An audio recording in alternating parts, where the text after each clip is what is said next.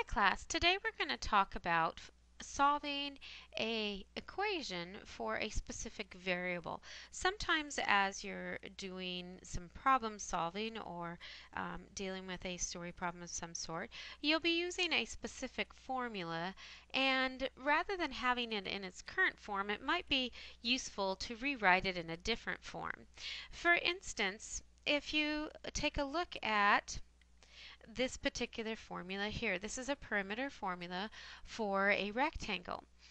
Maybe you're dealing with problems where rather than trying to find your perimeter, which is the P, you want to find your length or your width. It would be helpful to have this formula rewritten so that you either have the length or the width by itself.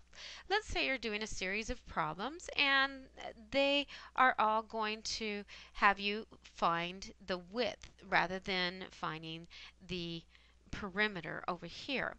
If that's the case, then it might be helpful to rewrite this formula so that you have your variable, the w, which is the width, by itself. To do that, you really use the same basic steps that you do for solving any equation. You just realize that what you're going to have as a solution has variables in it.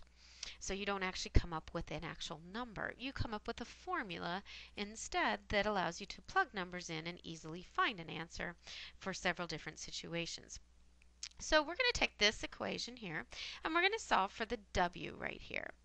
First thing we need to do to do that is move the things being added um, to the, the term with a w away from it. And we're adding a 2L. To move that to the other side, we would need to add the opposite, which is a negative 2L.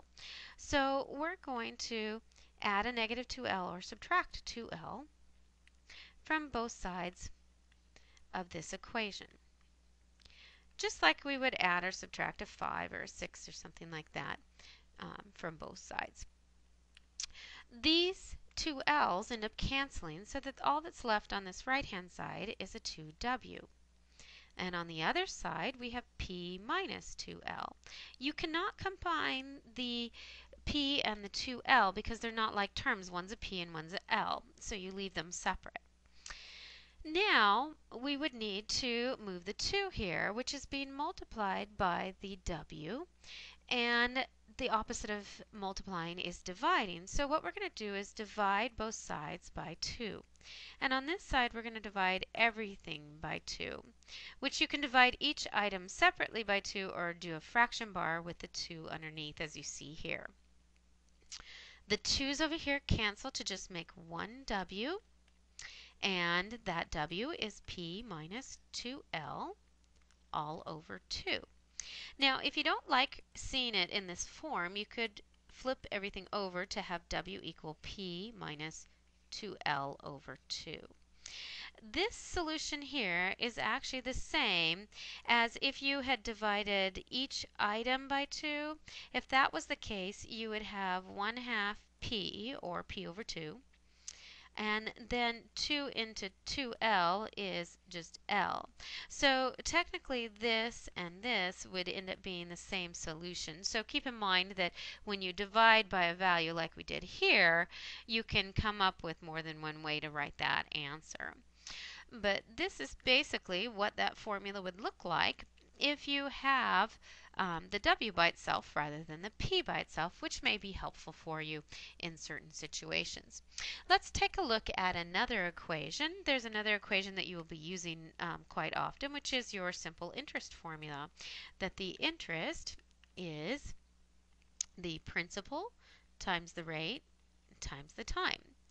Now, maybe you know how much interest you have, which is the I, and you know how much you've put in and what the rate was, but you would like to know how long it was in there, which means it might be beneficial for you to have the t by itself rather than having the i by itself.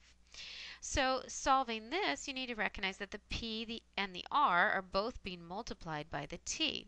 The opposite of multiply is to divide both sides by both the p and the r. The P over P makes 1 and the R over R makes 1 also. So on this side we're just left with a T and on the other side we have I over PR. And our new formula, if we like to have the t on the left-hand side, is that the time that the money was in there is going to be the interest divided by the principal times the rate. And this form here of that same formula may be more beneficial depending on what your problem solving situation is. So that's how you um, deal with solving for a variable in an equation. The situations that you have will be very similar to the last two problems that we see here.